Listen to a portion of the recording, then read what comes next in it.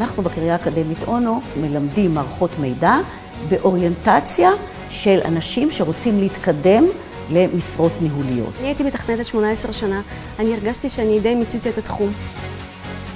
צריך כל הזמן להיות מעודכן וכל הזמן ללמוד. אנחנו מלמדים למעשה מגוון גדול של תת-מקצועות בתוך העולם המורכב הזה, שנקרא מערכות מידע בארגונים. יש המון התחשבות, המון עזרה, וזהו באמת ההבדל הגדול. אין ספק שאבטחת סייבר זה אחד ממקצועות העתיד.